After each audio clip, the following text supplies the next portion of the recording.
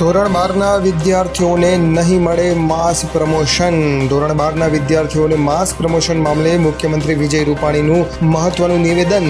ધોરણ બારમાં માસ પ્રમોશનનું કોઈ આયોજન નહીં.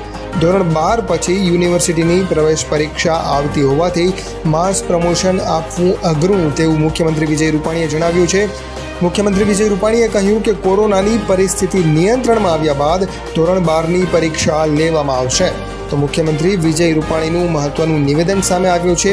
મહત્વનું છે કે ધોરણ દસના વિદ્યાર્થીઓને માસ પ્રમોશન આપવામાં આવ્યું છે. પરંતુ ધોરણ બારના વિદ્યાર્થીઓને નહીં મળે માસ પ્રમોશન. મુખ્યમંત્રી વિજય રૂપાણીનું મહત્વનું નિવેદન સામે આવ્યું છે.